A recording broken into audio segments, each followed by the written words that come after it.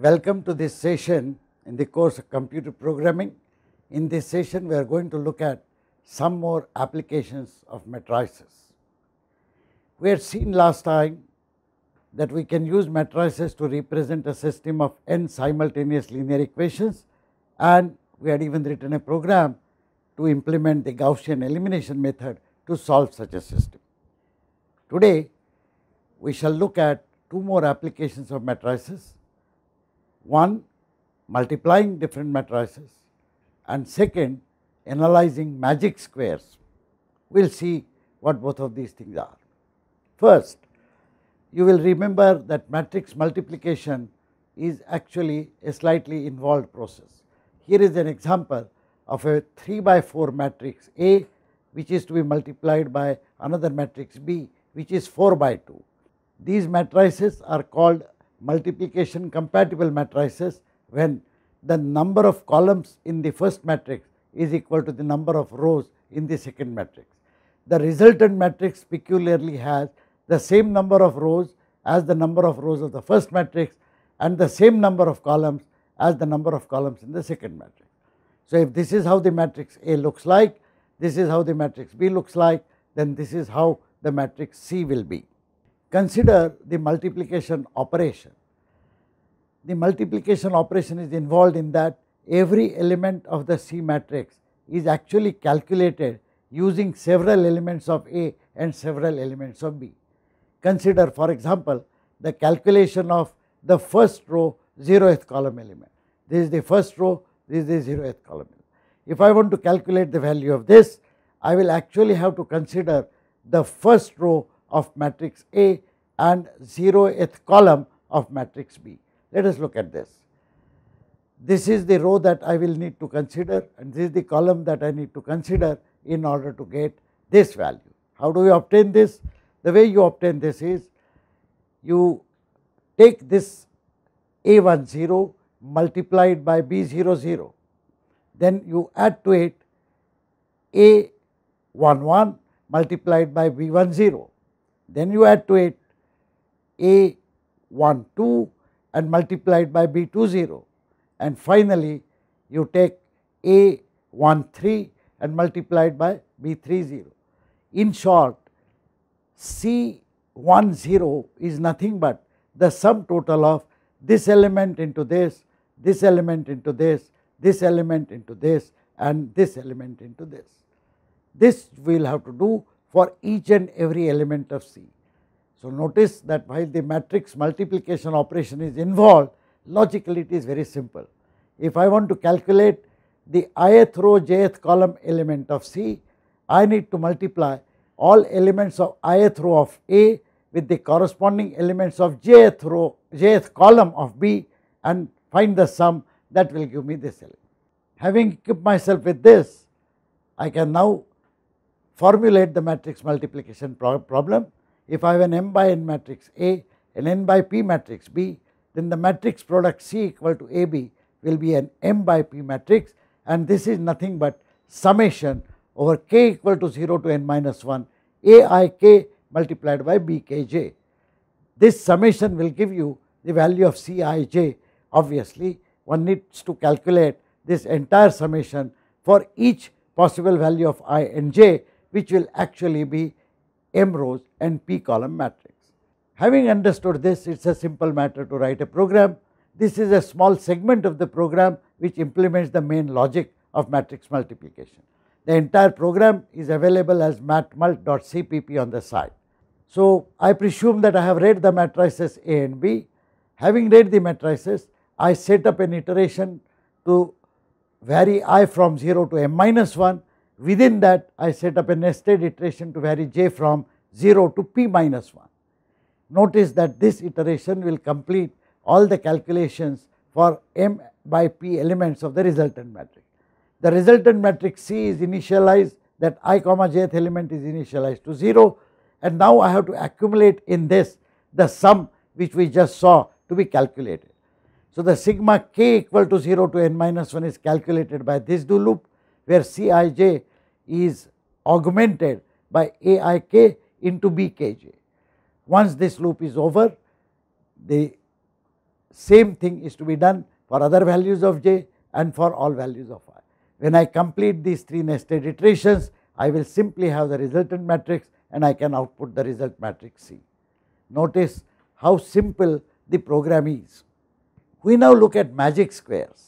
Magic square is an interesting square, it is an n by n square in its basic form which contains unique positive integers. The positive integers are arranged such that the sum of elements of every row and every column is same. Here is an example 816, 357, 492. Let us look at the sums 3 plus 5 plus 7 is 15, 8 plus 1 plus 6 is 15, 6 plus 7 plus 2 is also 15. Additionally, this diagonal 6 plus 5 plus 4 is also 15. The other diagonal 8 plus 5 plus 2 is also 15. Very interesting matrix, is not it? These matrices were known to Chinese, they call them Lo Shu square. A 3 by 3 magic square was well known to Indians since Vedic times. So, it is a very ancient observation of such matrices. Today we simply attempt to solve a problem. We say if somebody gives me an n by n matrix which has n rows and n columns, it will have two diagonals of course. We want to test whether such a given matrix is a magic square or not. And how do we test it?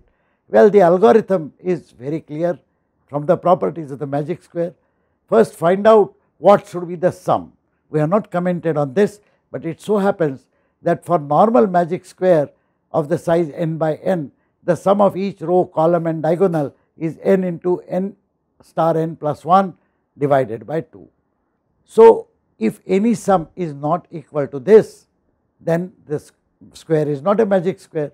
So, you calculate sums of rows and columns, calculate the sums of two diagonals, compare each with this value.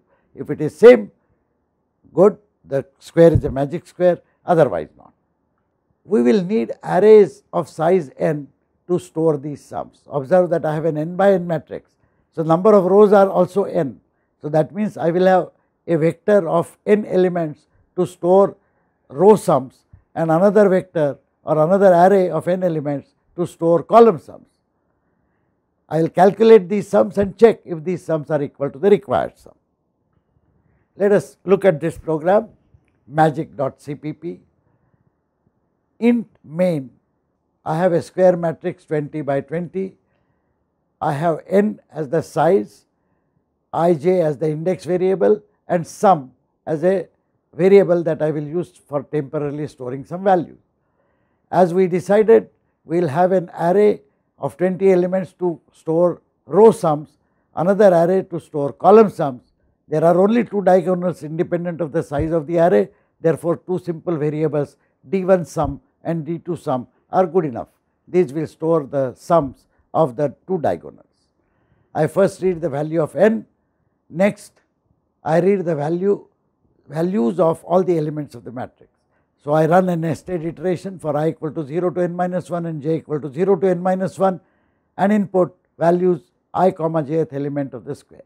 Having read this value, I now initialize my row sum and column sum arrays to 0 they must initially be 0 because I will be accumulating the values in the ith row and values in the jth column or ith column etc. into these. Let us look at the next part of the program. I calculate the sum for this being n into n magic square. If this input square has to be an n by n magic square, then the sum must be equal to this. This was the purpose of declaring the variable sum. Now I will find the row sums and check against the required sum. So, here is the way I find the row sum for i equal to 0 to n minus 1, for j equal to 0 to n minus 1, r sum i plus equal to square ij.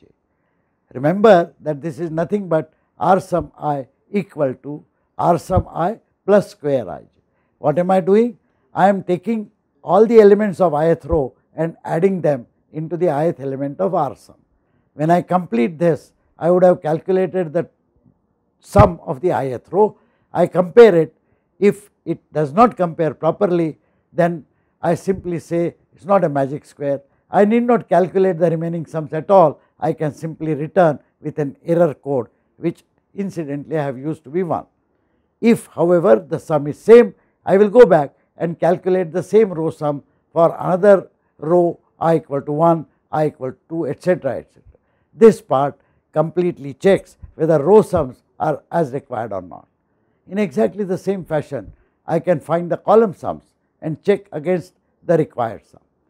Here I vary j from 0 to n minus 1 and for each value of j I vary i from 0 to n minus 1. I now calculate C sum j plus equal to square ij. This will calculate the sum of the jth column of the matrix and if this sum is not equal to sum I again get out, but if it is then I do the same thing for all the columns. Remember that there is no sanctity of putting j here and i here. The question is whether I am iterating over all the columns or not and as long as I appropriately choose these I can choose i or j or any other variable in any fashion that we want. In fact, one of the important things to learn in handling matrices is to properly handle nested iterations involving a variable varying rows another variable varying columns. So, we conclude that by this time if everything is alright the rows and columns add up to the required number. But wait we still have to look at the diagonals. To calculate the sums of two diagonals is very easy. You see square i comma i gives me an element on one diagonal for different values of i. Square j n minus j minus 1 will give me the other diagonal. You can verify that the use of such an index j for the row and n minus j minus 1 for the column will actually give you an index which is like this which will cover this array. The first array i equal to 0 to n minus 1 0 0 1 1 2 2 3 3 will cover this diagonal whereas this will cover the other diagonal. Having found both the sums I simply check whether each of the sums is same as the given sum or not or required sum or not. If it is not it is not a magic square I get out same thing with D2 sum if everything is alright if I have reached this point then the square is indeed a magic square and I declare that the given matrix is a magic square. So interesting example we now learnt about the magic squares and we also saw how to manipulate matrices in order to find their row sums, column sums, diagonal sums etc etc. We also wrote a program in this session for multiplying matrices a simple and elegant program but which can do lot of computations even for a 100 by 100 matrix. These programs as I mentioned are available in the files matmult.cpp and magic.cpp. Please download and compile these programs and run them with your own input. Thank you very much.